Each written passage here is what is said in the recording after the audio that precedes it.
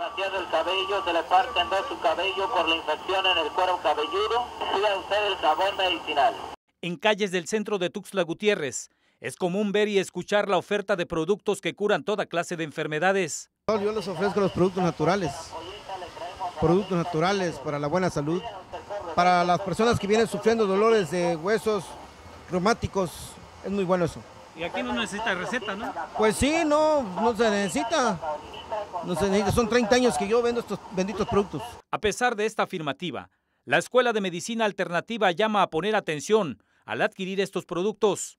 Eh, en ocasiones se dice que como, es natural, hay toda la confianza absoluta de que se puede tomar indiscriminadamente. Pero hay que recordar que también hay plantas que por su propia naturaleza, aunque sean de origen natural, pueden causar algunos problemas.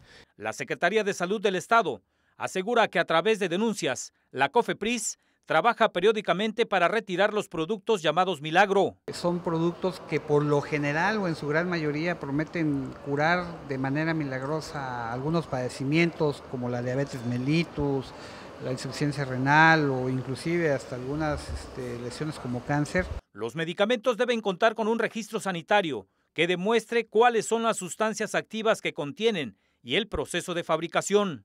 Y pues prácticamente estamos gastando en algo que no va a tener ninguna utilidad, en el mejor de los casos, porque en otro de los casos puede ser que contenga alguna sustancia que nos pueda generar un daño mayor al beneficio que nos ofrece. Con imágenes de Alberto Salinas, José Ángel Gómez Sánchez, 10 Noticias.